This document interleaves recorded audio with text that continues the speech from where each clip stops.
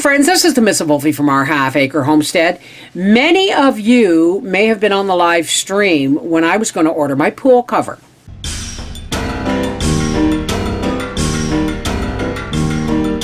Okay, and I went and looked and I couldn't figure out why it was $365 when the sum total of the three things I wanted to order was no more than $160. Okay? $200 in shipping and taxes for I, I don't get it. So listen, this is this is a warning video.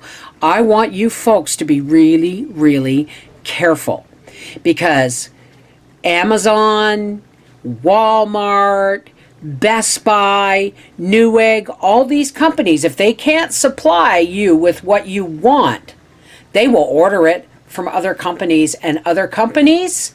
Okay, when eBay, not long ago, uh, eBay, the, the shipping was reasonable, but now you order something that's a really good price and they're counting on newbies going, oh, that's a really good price, and buying it without looking at the cost of shipping.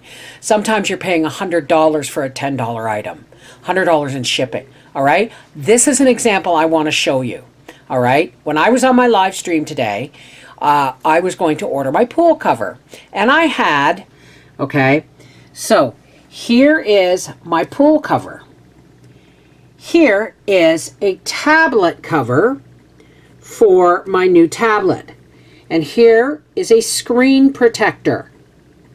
So 8 and 11 is 19 and 139 is $160. Walmart shipping, free. See?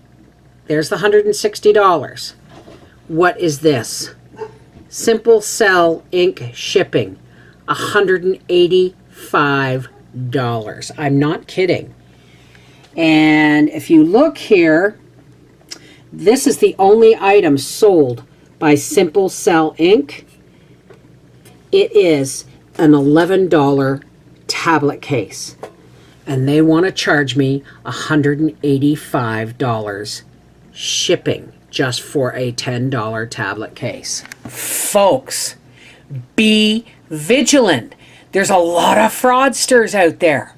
There's a lot of people, you know, they're they're it's not just the government that are taking advantage of this pandemic. There's a lot of fraudsters out there. Please be careful. Please be very, very careful. This is the Miss Wolfie from our half acre homestead saying that's just one example. Take care. God bless.